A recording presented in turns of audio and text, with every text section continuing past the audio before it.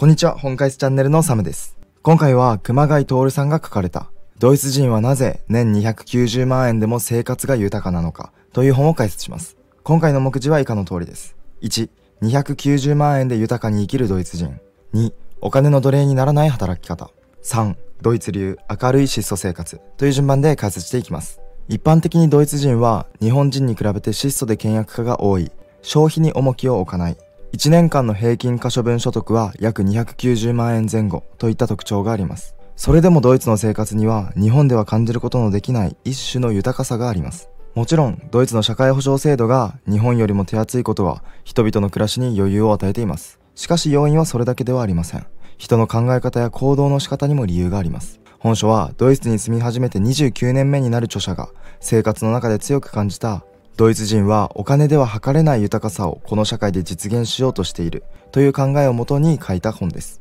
ドイツ人の生き方や社会の仕組みの中には私たち日本人の暮らしをより豊かにするためのヒントが隠れているのでとてもおすすめの本です。というわけで1、290万円で豊かに生きるドイツ人。この章では質素だが豊かな暮らし。休日もお金をかけずに過ごす。低賃金でも心が豊かなのはなぜかという3つのポイントについて解説していきます。まず1つ目のポイント。質素だが豊かな暮らし。ドイツ人の国民性の一つは強烈な個人主義です。他人が自分のことをどう見ようが構わないという人が多く、外見よりも中身を重視します。その現れの一つが服装です。ドイツ人の服装は日本人に比べると質素で、女性は男性に比べれば身なりに気を使っていますが、多くの男性は服装に無頓着です。スーツを着てきちんとした服装をするのは就職の面接や顧客とのミーティング、オペラやコンサート鑑賞などの時だけ。最近ではベンチャー企業だけでなく大手企業でもポロシャツにジーンズ、スニーカー姿で働く人が増えているそうです。同じヨーロッパでもミラノやパリには女性だけでなく男性の間にもファッションセンスがいい人をよく見かけます。しかしドイツではそのような人には滅多にいないそうで、大半のドイツ人はファッションに無頓着です。また、ドイツ人は食事も質素なんだと言います。まずほとんどのドイツ人は夕食では火を使った料理をしません。パンやハム、チーズといったものが並び質素な食事で済ませます。しかもドイツのパンにもピンからキリまでありますが、大半の人が選ぶのはお得用のパンだそうです。ドイツのほとんどの家庭では昼間は夫も妻も会社や役所で働いているため平日には買い物をしたり調理をしたりする時間があまりないという理由から夕食はパンで簡単に済ますという家庭が多いようです。では続いて2つ目のポイント。休日もお金をかけずに過ごす。ドイツ人は余暇を過ごすにもあまりお金をかけません。サイクリングや散歩をしたり公園の芝生や河原自宅のベランダで本を読みながら日光浴をしたりする人が多いそうです。ミュンヘンの真ん中には英国庭園と呼ばれる広さ約3.75平方キロメートルの公園があり夏の週末や平日の夕方にはこの公園の芝生は太陽の光を浴びる人で埋め尽くされます。日本に比べると1年間の日照時間が短いドイツでは春や夏に太陽の光を浴びることを好むためそういった時間を過ごすこと自体がすでに娯楽になるということです。平日の職場でのストレスから回復するために週末や休暇にはアクセクせずのんびりと一日を過ごします。そうでなければ週末に友人をブランチに招いてコーヒーを飲みながらダラダラと世間話をしてお腹がいっぱいになった後は近くの公園をのんびりと散歩する。これが標準的なドイツ人の余暇の過ごし方です。私たち日本人のように休みの日にショッピングへ行ったり映画館へ行ったり何かをしていないと気が済まないという人は多くないのだそうです。つまりドイツ社会ではお金を使わない娯楽というのが中心で生活の中で消費が占める比重が日本人と比べるとはるかに低いんです。では続いて3つ目のポイント。低賃金でも心が豊かなのはなぜか。ドイツ連邦統計局が2018年に発表した統計によると2017年の時点でドイツに住む市民1人当たりの年間可処分所得は平均2万2657ユーロ。これは日本円で294万5410円。1ヶ月あたり約25万円に相当します。大半のドイツ人の生活が質素である理由の一つはこの可処分所得が比較的低いことです。ドイツ企業で働く労働者は健康保険年金保険失業保険介護保険に加入しないといけないこともあり給料から様々な税金や社会保険料を差し引くと手元に残るのは約半分ほどです。またドイツは社会福祉制度が手厚い分公的年金保険や健康保険の保険料率が高くまた日本にはない税金もあります。もちろんドイツにも富裕層はいますが人口に占める比率は0.02%にしか過ぎず富裕層の収入の合計はドイツ全体の収入の5.7%にも相当します。ドイツでも所得格差は広がりつつあり低賃金層に属する人たちが苦しい生活を送っていることは事実です。ただそれでもドイツ社会を全体として見ると日本と比べてゆとりがあることは様々な世論調査の結果にも表れています。統計ポータルスタティスタによると2017年の秋に行われたアンケート調査で自分の生活に満足していますか？という問いに対して非常に満足している。もしくはかなり満足している。と答えた人の比率は93%に達しました。これに対し日本の内閣府が2017年に発表した世論調査の結果では生活に満足している。と答えた市民の比率はドイツよりも20ポイント近く低い73.9%でした。他にも時間的なゆとりという面ではその格差がもっとはっきり見えてきます。2018年にドイツの連邦統計局が発表したアンケート調査の結果によると2016年の時点で4100万人の就業者のうち90.7%が現在の労働時間に満足していると答えました。これは回答者の9割はワークライフバランスが取れており時間のゆとりがあると考えていたということです。それに対し日本の内閣府の世論調査では生活の中で時間のゆとりがあると答えた日本人は68.6%ドイツ連邦統計局の調査結果よりも約22ポイント低くなっています。やはりドイツ人は低賃金でも心が豊かなのは間違いないようです。その理由としては社会保障制度が手厚いことや人の考え方や行動の仕方によるものでしょう。では続いてにお金の奴隷にならない働き方。この章では最重要は静かな生活。なぜお金がなくても大丈夫なのか。という2つのポイントについて解説していきます。まず1つ目のポイント。最重要は静かな生活。ドイツ人はお金だけが全てではないと考える人の割合が日本よりも多いです。例えばドイツ人は静かな環境というものをとても大切にします。商店街のスピーカーから流れる音楽や選挙期間中の街頭宣伝カー。駅で地下鉄や列車のドアが閉まることを知らせる音楽。学校の周辺にまで響き渡るチャイムなどはドイツには皆無です。ドイツ人は仕事の疲れを癒すためには静かな環境が不可欠だと考えています。では続いて2つ目のポイント。なぜお金がなくても大丈夫なのか。もう一つドイツ人がお金よりも重視しているのが自由時間です。大半のドイツ人はプライベートな時間を確保するためには仕事はほどほどで良い。